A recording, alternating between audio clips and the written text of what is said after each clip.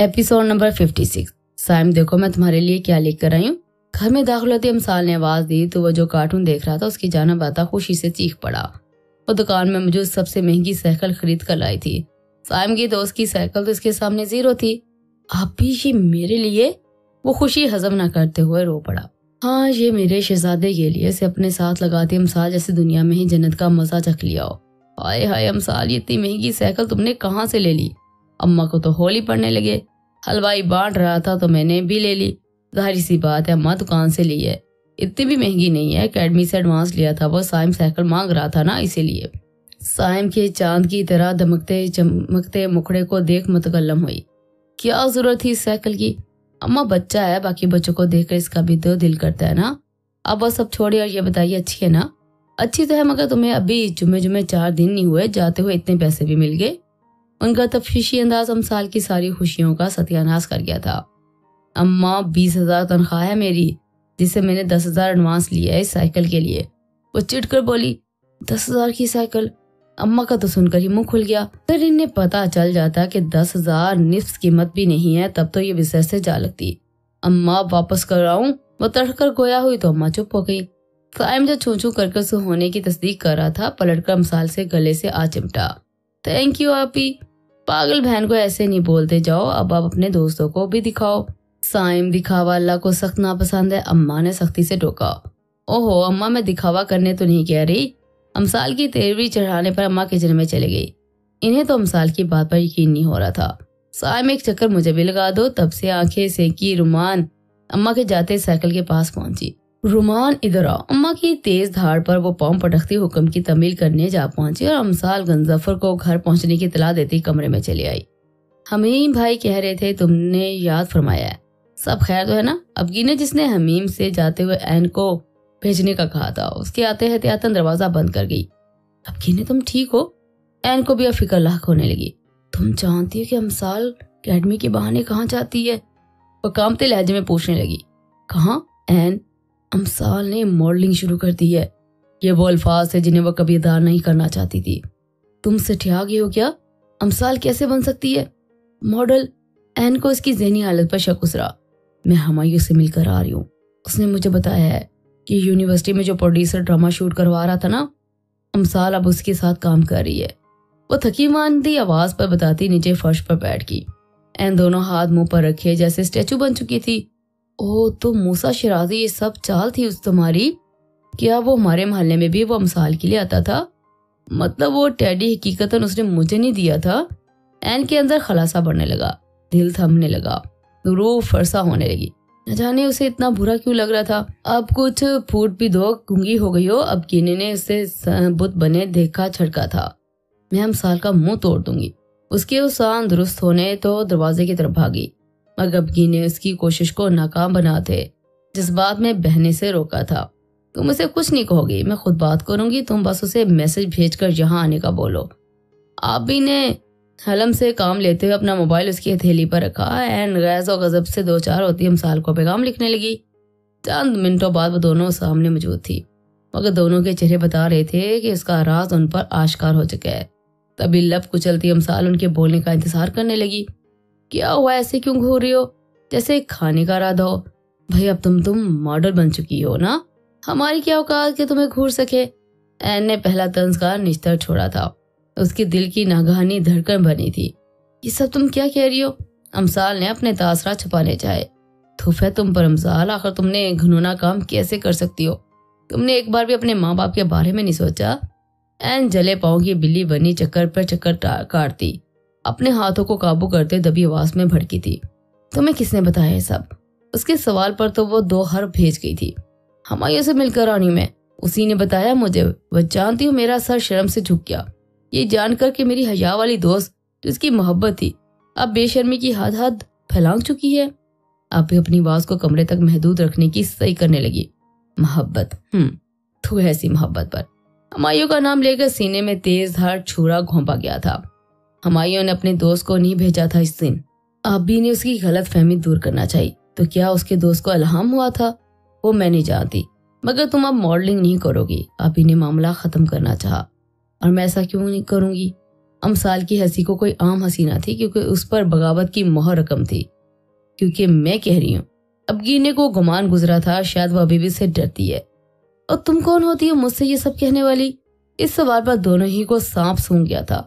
आहनत के बायस अब गिरने के असलात गए थे। बकवास नहीं करो अमसाल, अपने अब्बा के बारे में सोचो। वो अमाम है मस्जिद के, इनका एक मुकाम है सबके दिलों में। उसे मत गिराओ और संभल जाओ प्लीज़ गिने ने मसले से काम लेते उसके हाथ को अपने हाथ में लिया था। अगर मेरे अब्बा मस्जिद के इमाम है तो इसमें मेरा क्या कसूर है? इसका हाथ जूं झटका था जैसे वो ग्लासेस का ढेर हो। कसूर? अब के लोगों ने बेयकीन जुम्बश की। अमसाल, तुम इनके मरतबे से वाकफ नहीं हो। वरना कसूर पूछने के बजाय खुद को खुशबख्त सबर करती।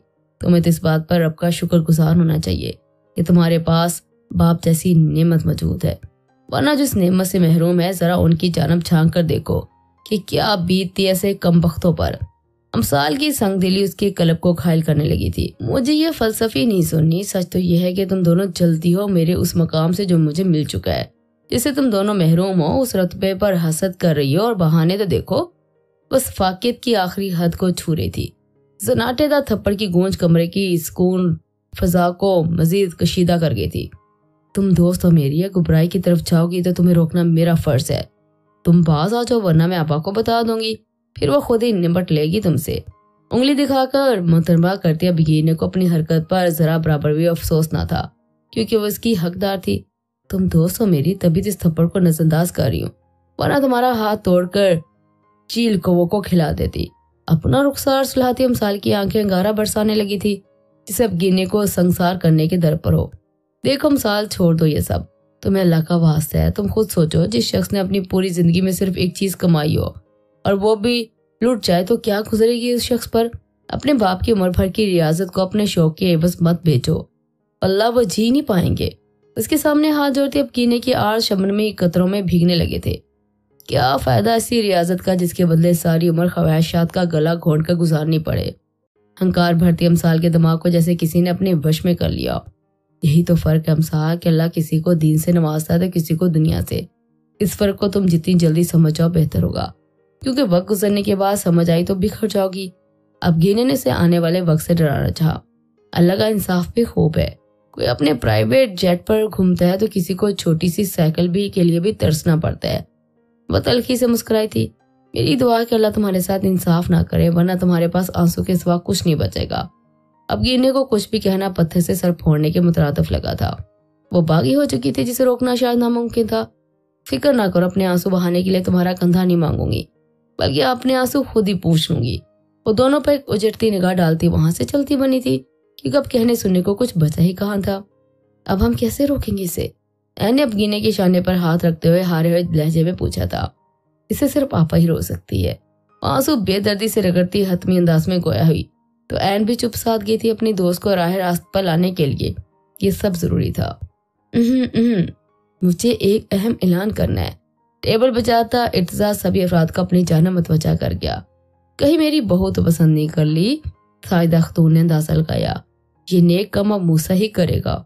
उसकी मोबाइल का आरई से मूसा खांसते हुए आँखें दिखाने लगा। मैं जानता हूँ मैं ये बात करने जा रहा हूँ जो किसी को पसंद नहीं आएगी, मगर मैं फैसला कर चुका हूँ। इसे मेरे फैसले का एहतराम किया जाए, जो कि मेरी ख्वाहिश भी है और ज़रूरत भी। वह तमीद बांधता माहौल में कबाज साहब फैलाने लगा था। अब सस्पेंस मत बढ़ाओ। तो नैरा बानो ने तराज किया तो वो भी गला खंगारता लफ्ज बोलने से पहले तोड़ने लगा। मैं कई दिनों से यूनिवर्सिटी की वेबसाइट चेक कर रहा हूँ। कोई ऐसी यूनिवर्सिटी मिल जाए जहाँ मैं सेमेस्टर ज़ाया किए बगैर एडमिशन ले सकूँ। आखिरकार मेरा काम बन गया। और मैं अगले हफ़्ते कनाडा जा रहा हूँ। और सर झुकाए भीगी बिल्ली बना भन भनाया था। ये कैसे हो सकता है इर्तजा?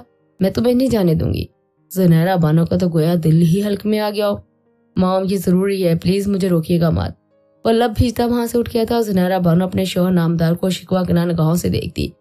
अपने कमरे में जाकर बंद हो गई थी। ये क्या है खलील? साइदा खतून को तो पहले इसके घर में फैली मुस्तरबना लहर ने बेराम कर रखा था। माँ जी, सिर्फ़ दो साल की तो बात है। शौक है इसका जाने दो। वो यूँ बोले जैसे दो दिन की बात हो। दो साल की बात है, दो घंटों की नहीं। दादा, आप फ़िक्र क्यों करती हूँ? मैं हूँ ना आपके पास। ऐसे भी अच्छा मुस्तकबिल बनाने के लिए मुश्किल तो झेलनी पड़ती हैं। मूसा प्यार से उन्हें पचकारते बातों में उलझाने लगा तो खलील साहब चुपके से अपनी जोजा के पीछे चले आए, जो बेड पर गिरी अश्कपार थी। बेगम उन्होंने करीब बैठते हुए सीधा करना चाहा, मगर वो यूँ पीछे हटी जैसे बिजली की तार को छू लिया। हो मेरी बात तो सुनो, ये हरकत खिलाफ तबाह थी। आप जानते थे ना सब आप इन्हें एडमिशन करवाया ना उसका? हिचकियों में उलझती आवाज़ पर वो दम भर गए थे। तुम नहीं चाहते कि हमारे घर का माहौल ठीक हो जाए, या फिर हमारा बेटा खुश रहे, इर्तजा को इसकी मोहब्बत मिल जाए, या अप्सरा और इर्तजा की शादी हो जाए? सवालों की बुछार करते उसे दंग छोड़ गए थे, आखिर इर्तजा की जाए से क्यों? वो माँ थी और वही दूरी काटा मुश्किल तरीन अमर था कि अप्सरा के जाने से कुछ भी ठीक नहीं हुआ। वो बुझे बुझे से सर को पीछे गिरा गए थे। लेकिन मैं कल मूसा के साथ गई थी, अप्सरा से मिलने। वो कह रही थी कि वो जल्द लौट आएगी। वो सब ठीक होने का ऐलान दिलाने लगी थी। मेरे बेटे ने मेरी बेटी के साथ जो ब्लेंडर किया है ना, उसके बाद वो फक्त आने की बातें ही करेगी। वो जो बताना नहीं चाहता था, आज वो दास्तान लबों पर ही आ गई थी। सब जानने के बाद कमरे में स्कूत सा छा गया था। इसमें इर्तजा का क्या कसूर है? उसने तो सब मोहब्बत में किया। वो इर्तजा की वकालत करने लगी थी। तो अप्सरा का क्या कसूर है? उसने भी तो मोहब्बत ही की थी। सारा कसूर हमायूं का है। वो वकील से जज बन गई थी। हमायूं को भाई कोई कसूर नहीं है। उसने भी जो किया, मोहब्बत के लिए किया। अब मोहब्बत में किया तो फिर सारा कसूर मोहब्बत का है। वो चू चू करती, मोहब्बत को ही कसूर कसूरवार ठहरा गई थी। कसूर मोहब्बत का नहीं है, बस समझ लो, हम कदम होने के लिए। चंद कदम दूर होना पड़ेगा। वो सोचो, अगर हमारी वो सब सपना करता तो अप्सरा तक इर्तजा के जज्बात कैसे पहुँचते? ऐसे भी तुम चाहती थी ना? इर्तजा बचपना छोड़ दे तो बस तुम्हारी चाहत पूरी होने वाली है। देखना, जिस दिन इर्तजा वापस लौटेगा, तुम उसे अपनी पसंद में ढला एक समझदार मर्द पाओगी। वो जो मामला समझ चुकी थी, आखिर में लालच मिलने पर भमस केड़ गई। मगर दो साल में कैसे रहूँगी फिर से इतने लंबे अरसे की सोच कर दिल गिरफ़्तार होने लगा। जब अप्सरा नहीं थी तो इर्तजा तुम्हारे दिल लगाने की कोशिश करता था। अब इर्तजा नहीं होगा तो अप्सरा ही ये काम करेगी। क्या मालूम अप्सरा इस अरसे में इर्तजा की कमी को महसूस कर ले, उसके जज्बात की ताकत को पहचान ले। अगर ऐसा ना हुआ तो फिर उनके अंदर खदशात ने अंगड़ाई ली थी। मुझे अपनी बेटी की मोहब्बत अपनी बेटी की बिनाई पर पूरा भरोसा है। वो ठोस लहजे में बोले तो खलील फिर भी उनके चेहरे पर पुरस्मदगी ने साया किया तो नहरा, क्या तुम्हें इर्तजा इसलिए ज़्यादा अज़ीज़ है? उसने तुम्हें जन्म दिया? वो मताना से बोले और वो नाम तभी लेते थे जब बेहद संजीदा होती थी। नहीं, ऐसा बिल्कुल भी नहीं। आप जानते हैं कि मैंने कभी दोनों में फ़र्क नहीं किया। अलबत्ता जब अप्सरा गई थी, तब मैंने उससे भी ज़्यादा रोई थी। अगर मुझे उससे मोहब्बत ना होती तो रोज फ़ोन पर उसकी खैरियत मालूम ना करती, ना ही वापस आने के लिए समाजत करती। तो फलाना अंदाज में उन्हें गलत साबित करना चाहा मैं जानता हूँ मेरी बीवी खास ही इंसाफ पसंद है। मोहब्बत करने वाली औरत है, इसलिए तो सर आँखों पर बैठाता हूँ। तो नहरा बानों के बाजू के घेरे में लेते हुए वो मान से बोले थे, इनका मूड बेहतर करने के फन से वो बाखूबी वाकिफ थे। कभी कभार अच्छे वक्त की खातर कड़वे फैसलों का खून भरना पड़ता है। बिल्कुल इसी तरह जैसे सेहतयाब होने के लिए कड़ी दवाई का तबाह के बरखलाफ जाकर हल्क से उतारना पड़ता है। यूनिवर्सिटी के लिए तैयार खड़ी थी जब तुम साल को यूनिवर्सिटी के लिए तैयार सीढ़ी से उतरते देख चौंकी, मगर मुँह से एक लफ्ज ना बोल पाई। शुक्र आज मेहरानी को भी यूनिवर्सिटी का ख्याल आया, वरना मुझे लगा था, तुम भी अब गिने के नक्शे कदम पर चलते हुए एन को अकेला छोड़ देगी। जरीना बेगम को उसे देखते ही अपना दिल जलाने वाला फ़र्ज़ निभाया था। अब गिने को मजबूरी की वजह से छोड़ना पड़ा। अगर आप शांति की ज़िम्मेदारी संभाल लेती तो शायद वो एन का साथ ना छोड़ती। वो अपने वो भी अपने नाम की एक थी। मैं क्यों संभालू ज़िम्मेदारी? अब यही काम रह गया है मुझे। लोगों के बच्चे पालती फिरूं। जल पंछी बनी, सर छटकी थी। मैं जा रही हूँ और हाँ एन बैग में अपना फीडर रख लेना यहाँ से। जाते जाते मुसमे से नैन पड़पड़ाती। उनके अंदर शोला भड़का गई थी, जिस पर एन के तासरात यूँ थे कि मैंने क्या कहा था? जबकि हमें हँसी छुपाने को चाबी उठाता, बाहर की सिमत भागा था मैं कभी कभी हैरान हो जाता हूँ, आखिर कोई इतना हाजिर जवाब कैसे हो सकता है? कैसे? गाड़ी रोड पर डालते हमीम ने दाद देते अंदाज में लब कुशाई की, जिस पर अमसाल फखरिया गर्दन अकड़ा गई। वैसे मैं सोचती हूँ, अगर अमसाल जैसी बहू मम्मा को मिल जाए तो क्या सीन होगा? मतलब टीवी के बगैर ही लाइव ड्रामा देखने को मिलेगा। रोज नई एपिसोड, नए तड़की के साथ। खीखी करती एन ने अपनी सोच में दोनों का हिस्सेदार ठहराया था। अस्तफर मम्मा को छोड़ा ऐसे लड़की के साथ तो मेरा भी निभा ना हो सके। हमीम ने स्टेरिंग छोड़ते हुए बकायदा कानों को हाथ लगाया था।